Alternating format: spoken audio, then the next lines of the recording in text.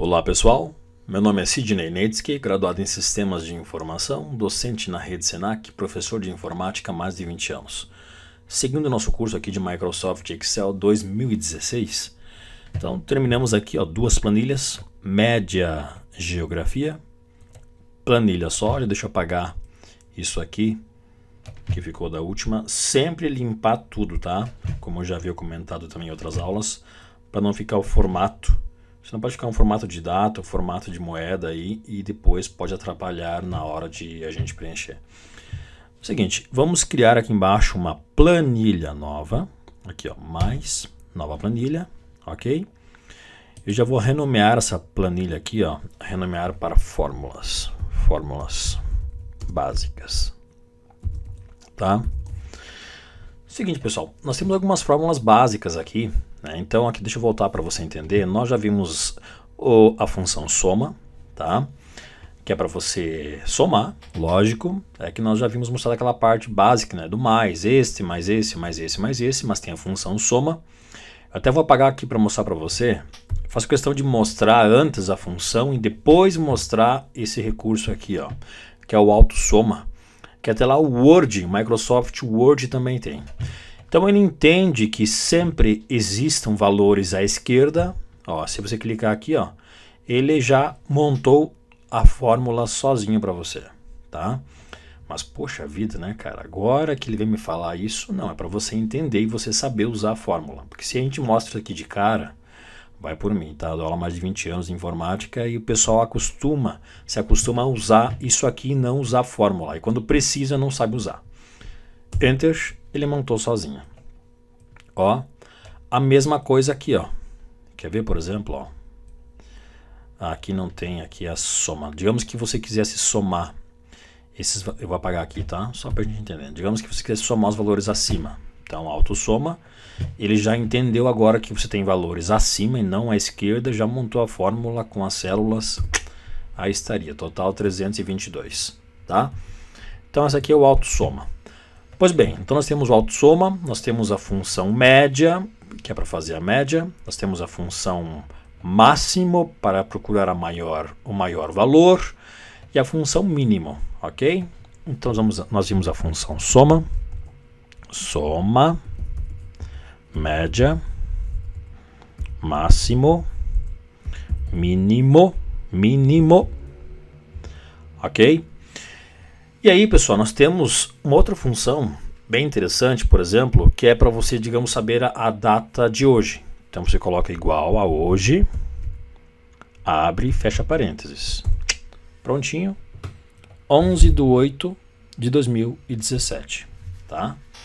Se você colocar, por exemplo, igual a agora, abre e fecha parênteses, Aí ele mostra 11 de 8 de 2017 e a hora atual. São 15 horas e 56 minutos, tá? O legal disso aqui é que ele vai ficar sempre atualizado, tá? Então se eu fechar, se eu salvar isso aqui e amanhã eu entrar aqui de manhã, vai estar 12 do 8 e vai estar com a hora atualizada, ok? Ele não atualiza, por exemplo, agora, né, minuto a minuto, tá? Aí você tem que sair, fechar e entrar de novo para atualizar. Mas o legal é você manter numa planilha para você saber né, que data que é hoje, para você sempre usar uma data atual como referência para fazer algum cálculo, né? Então vejam que é interessante. Outra, outra fórmula interessante aqui que a gente pode usar é a função raiz quadrada, tá? Então a gente coloca aqui raiz, raiz, tá vendo aqui, ó? Ó, retorna a raiz quadrada de um número. Eu coloco o um número, porque 81, fecha os parentes, como se diz, Prontinho, raiz de 81, 9. Isso é fácil, né, professor? Coloca então aí 2568. Óbvio, é número quebradão, né, cara? 3020. Raiz quadrada de 3020, 54 quebrados. Aí tem toda aquela questão de casas decimais que nós já vimos, né? Você pode reduzir as casas decimais, ó, ou aumentar tá? Então são as formulazinhas mais básicas, ok?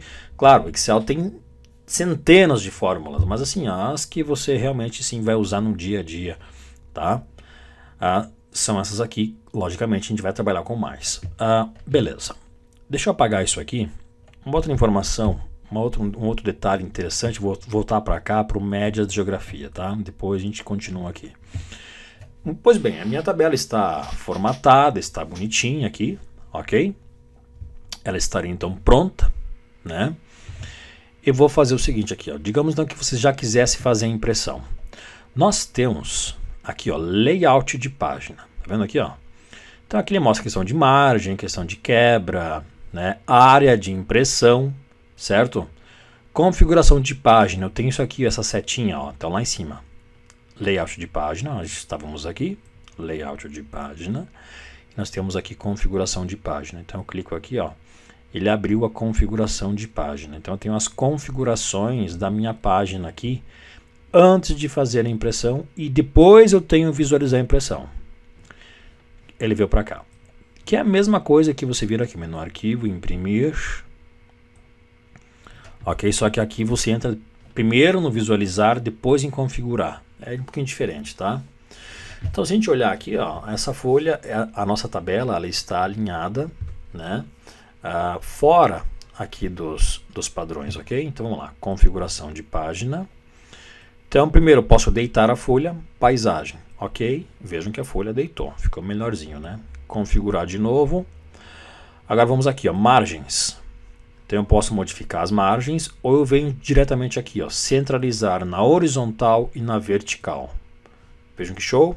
Pã. Ele já alinhou exatamente onde eu desejo. Configurar página, né?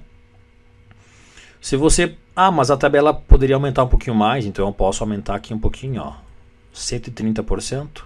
Vejam que ele aumentou e agora deu bem certinho na folha, ficou mais bonitinho. Então, se a tua tabela fosse muito grande, você, pode, você teria que reduzir aqui, né? Sei lá, reduzir para 70, 80. Então você vai reduzindo, logicamente, para não ficar muito pequena, você teria que quebrar em mais páginas, né? Mas são recursos interessantes, tá? Uma parte mais avançada disso, vamos ver mais à frente, mas para você já poder imprimir sua tabelinha aí sem problemas. Então, margens, ok? Você pode modificar as margens aqui ou centralizar. E ainda podemos colocar um cabeçalho. Então, vamos personalizar cabeçalho.